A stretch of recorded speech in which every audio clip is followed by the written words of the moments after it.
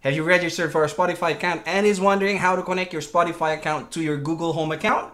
Stay tuned and I will show you how. Cue the intro.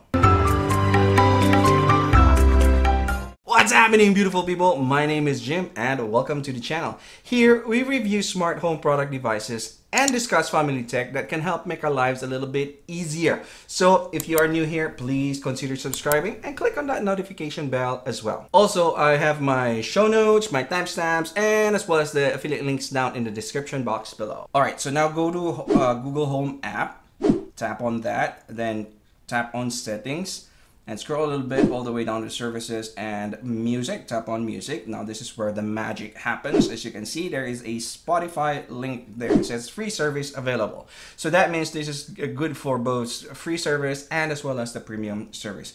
So go ahead tap on that. Yes i would like to link my spotify account.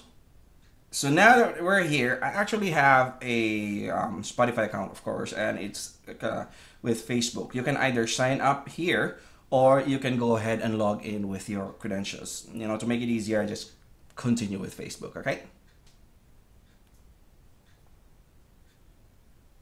Okay, logging in, wait, and voila, agree, and that's it. So your Spotify account is now connected or linked to your Google Home device. So from there, you could actually ask Google Home to just play music from your Spotify, especially since it will uh, once you link it, it will automatically be the default music provider. And let's see if it actually works.